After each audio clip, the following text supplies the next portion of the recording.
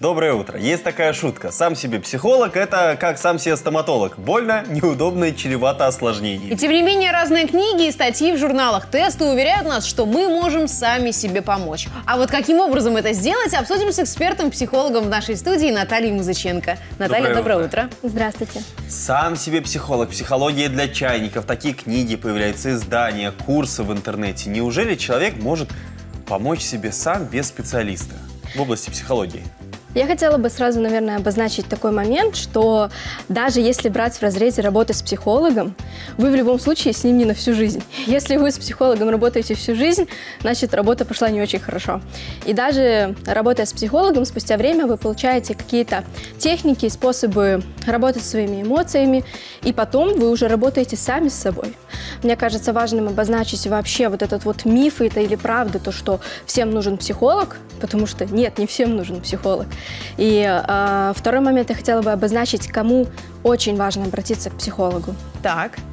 А, начнем, наверное, с того, всем ли нужен психолог, правда или нет. Нет, не всем. А, Я часто встречаю людей, которые считают, что им не нужен психолог, а им нужен психолог, из-за этого страдают их близкие. Но будем честны, что если человек не собирается в терапии работать, если человек не собирается выполнять техники, различные упражнения, которые ему дают, то терапия пройдет безуспешно. И плюс еще и человек уйдет в сопротивление. Посмотри мне в глаза. Прекрати виллу. Мне не нужна терапия. Все, хватит, вон отсюда. Как вообще понять, что тебе нужен психолог? Если человек находится в травме, и он понимает, что он не справляется самостоятельно, когда у человека э, тревожные мысли и постоянные навязчивые мысли, и он понимает, что в повседневной жизни он уже не справляется с этим, когда произошел кризис, то есть по-старому нельзя, по-новому он еще не понимает как. В эти моменты все-таки лучше обратиться к психологу, особенно если у человека начинаются мысли, что его жизнь бесполезна, что он не знает, как дальше жить. В такие моменты точно нужно обращаться к психологу. Если же вы хотите волшебную таблетку, пилюлю, которую вам дадут, но сами работать не собираетесь, или если вы хотите изменить своего друга, родственника, кого угодно, это не к психологу.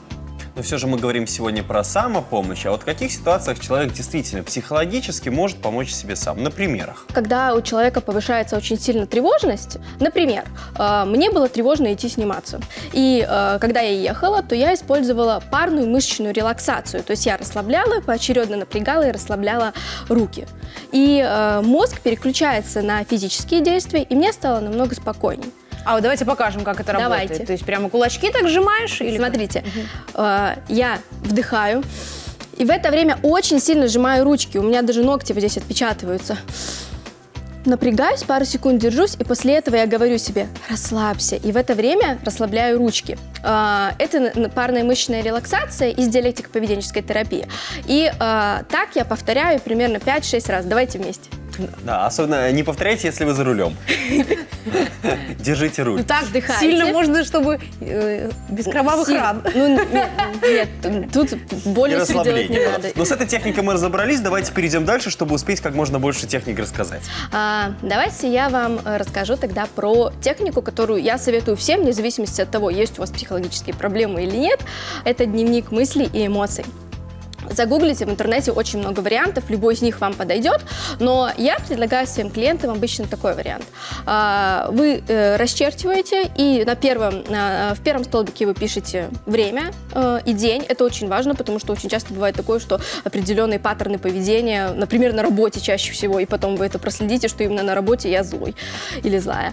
А вторая колонка – это мои эмоции. Эмоции ставим обязательно процент, потому что очень важно, вы на 5% злой или вы на 55% злой. А, Дальше это ситуация. Вы рассказываете ситуацию во всех подробностях. А, Мои действия и мои физические ощущения. Потому что я, например, на себе заметила, что когда я злюсь, у меня очень болит, болят лопатки. Ну, я раньше думала, что у меня просто болят лопатки. И а, пос- э, Потом, спустя время, вы просматриваете этот дневник, в моменте очень часто человек просто не замечает своих каких-то особенностей.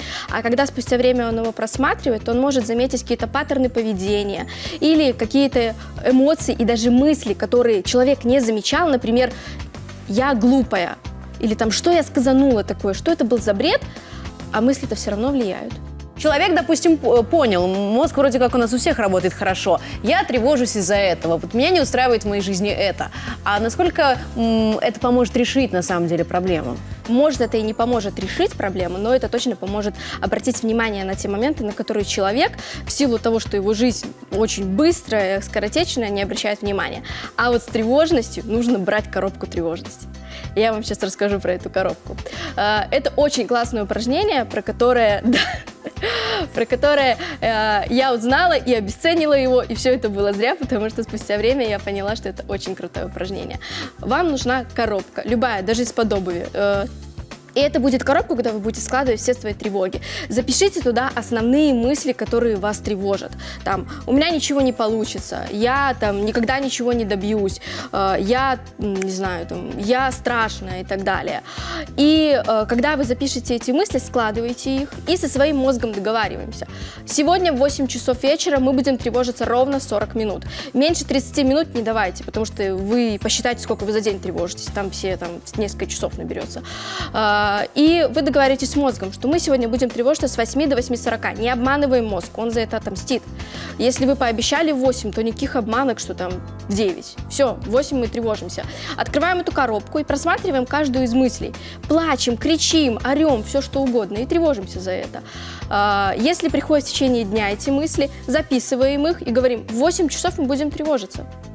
И как только эта мысль становится неактуальной, например, там, сначала я плакала над этой мыслью, а сейчас мне вообще на нее все равно, мы ее убираем и докладываем новую. Вот. Поэтому можно, видите, все делать по времени, потому что все мы эмоции испытываем одинаковые. Самое главное, сколько мы их испытываем в процентном соотношении. И вообще понимаем мы, что с нашей жизнью происходит или нет. А вот такие техники э, могут в этом помочь. Да, наверняка не сразу, не с первого же раза, но вы попробуйте, а вдруг. Наталья, спасибо большое, что заглянули сегодня к нам в студию. Мы напомним, что этим утром в нашей студии была психолог Наталья Музыченко. Хорошего дня. Спасибо вам тоже.